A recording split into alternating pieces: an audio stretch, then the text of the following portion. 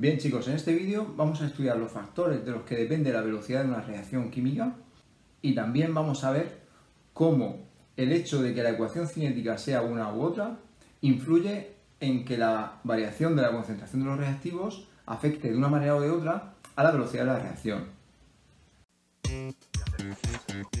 Aprende,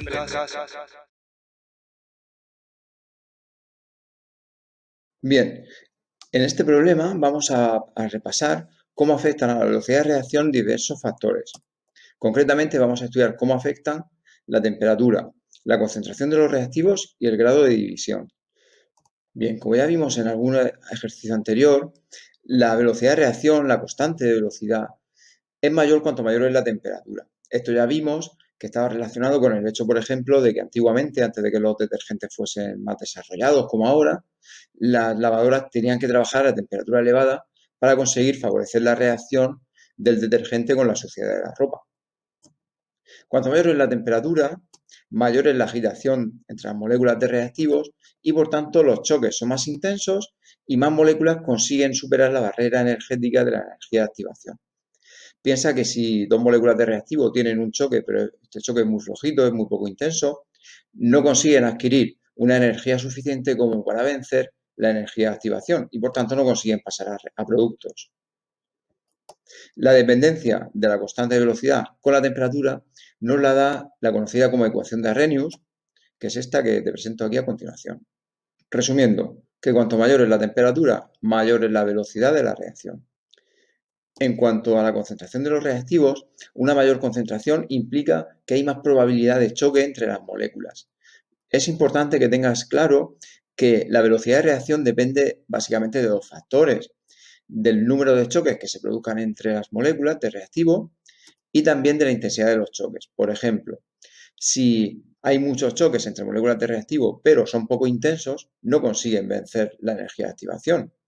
Y por contra, los choques pueden ser muy intensos pero si se producen con muy poquísima frecuencia, pues tampoco se favorece de esta manera la velocidad de reacción.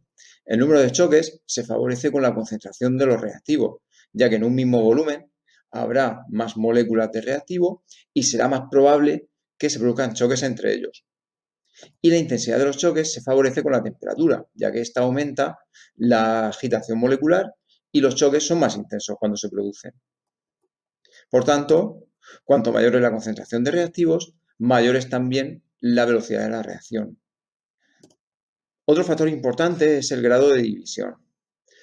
Cuando entre los reactivos hay un sólido, cuanto más dividido está este sólido, la velocidad se favorece, la velocidad aumenta, porque la, la reacción entre un sólido y líquidos o gases se produce siempre en la superficie del sólido.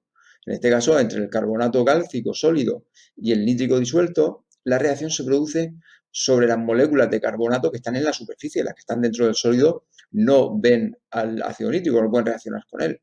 Entonces, cuanto más dividido está, mayor superficie tenemos para una misma cantidad de sólido.